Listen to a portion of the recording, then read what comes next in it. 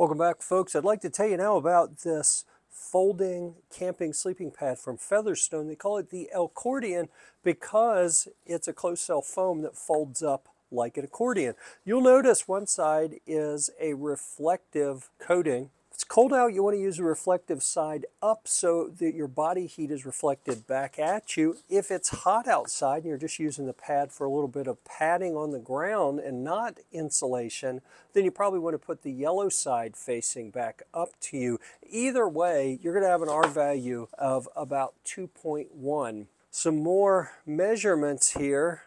We've got about 22 inches across. It's about 73 inches long.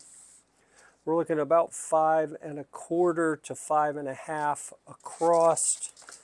There we go. A little, little over four and a half that direction.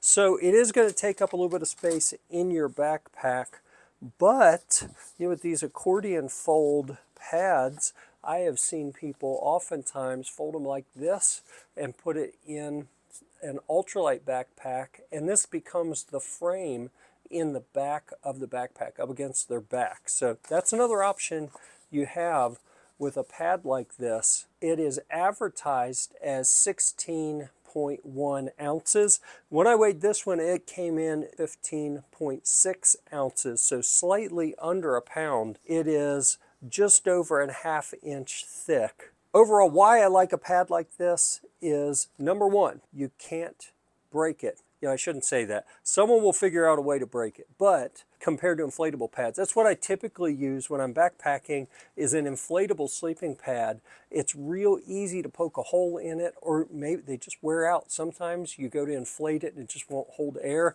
That's not going to happen with a foam pad. So you get durability, you get the you make it harder for people to break the pad. If I were buying a backpacking pad for a young Boy Scout, for example, who's going to be out doing a lot of backpacking, I would want something like this. I would not want to put them in an inflatable pad unless they are really attentive to their gear. They can be much more rough on this and it's not going to be that big of a deal.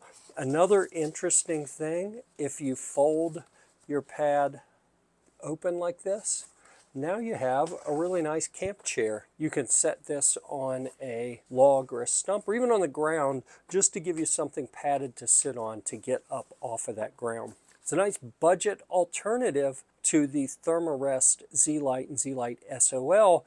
This is going to come in with a little bit less damage to your wallet, but still give you a nice pad for sleeping and sitting.